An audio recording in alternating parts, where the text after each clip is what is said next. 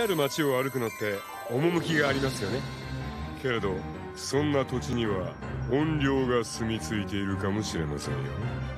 闇夜にうごめき取りつく人間を不気味な声で誘う。もし取りつかれてしまったら奴らの一員になって永遠に住み着くことになるかも。次回デジモンゴーストゲーム陰陽師